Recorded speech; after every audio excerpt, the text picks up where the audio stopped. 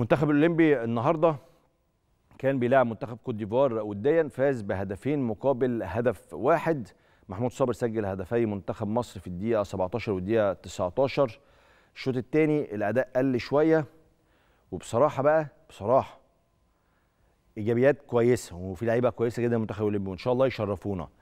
بس الهدف اللي دخل فينا هدف بايخ قوي قوي. دمه تقيل يعني هدف وحش. أخطاء دفاعية غريبة. وحالة لخبطة كده مش طبيعية. أنا أصلا أنا بخاف أنا من الحاجات دي.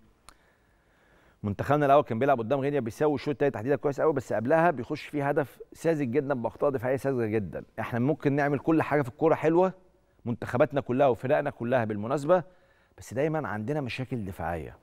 إن شاء الله ميكال يتدارك هذه الأخطاء قبل الأولمبياد ونظهر بشكل كويس في الأولمبياد بإذن الله.